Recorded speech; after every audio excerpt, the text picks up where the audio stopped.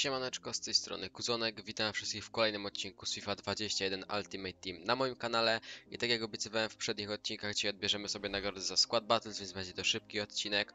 Wydaje mi się, że wbiłem Elite 3, ponieważ wczoraj miałem jeszcze 40 tysięcy Gold 1, o kurde, więc musiał mi braknąć chyba z 1000 punktów, czyli to jest jakoś na nie, jeden niecały mecz.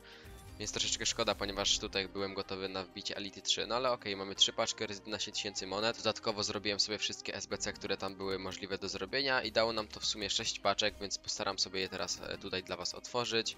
E, Myślę, że zaczniemy sobie od tych najgorszych, więc najpierw będzie paczka dwóch złotych piłkarzy UEFA Champions League. Tutaj raczej nic dobrego nie trafię z tej paczki. Tak jak mówiłem, nie mamy nawet ekranu, środkowy pomocnik defensywny Kamara.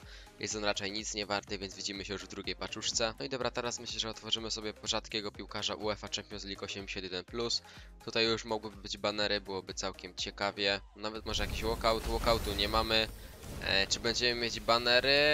Tak, mamy banery z Portugalii, środkowy obrońca z FC Porto i to będzie PP 81 overalla też raczej nie jest nic warty. Tak, kosztuje on 800 monet, więc przechodzimy do trzeciej paczuszki i od razu lecimy z paczuszką dwóch złotych rzadkich piłkarzy. Z tej paczki trafiłem już tutaj nawet na przykład Varana, więc bardzo dobrze mi ta paczka dała. Ale teraz też nie mamy walkoutu, czy będą ekrany. Nie mamy ekranów. Jest to bramkarz z Czech, Waclik. Więc przechodzimy do tych wszystkich trzech paczek za Squad Battles i myślę, że zaczniemy sobie tutaj od tej paczki, ponieważ ma ona tylko trzech rzadkich zawodników. Więc złota paczka zawodników premium.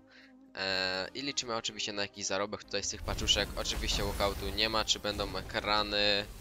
Eee, raczej nie, nie będzie ekranów i trafiamy z niej mm, Almirona, więc raczej też nie jest on nic warty. I teraz otworzymy sobie paczkę e, z sześcioma rzadkimi zawodnikami, w tym czterech złotych. Może tutaj coś uda się trafić ciekawego.